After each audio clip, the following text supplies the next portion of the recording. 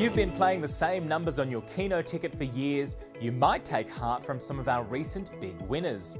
A Lawnton mum is thanking her special set of numbers, consisting of family birth dates and birth years, for making her a newly minted Keno multi-millionaire.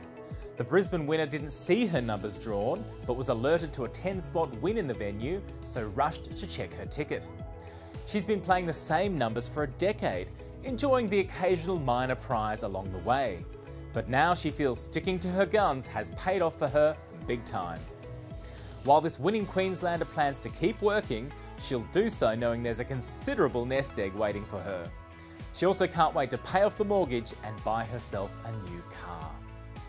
Across to Long Jetty on New South Wales Central Coast, a local man is happily planning to treat his wife to a bountiful seafood buffet to celebrate his recent Keno Mega Millions 8 spot prize.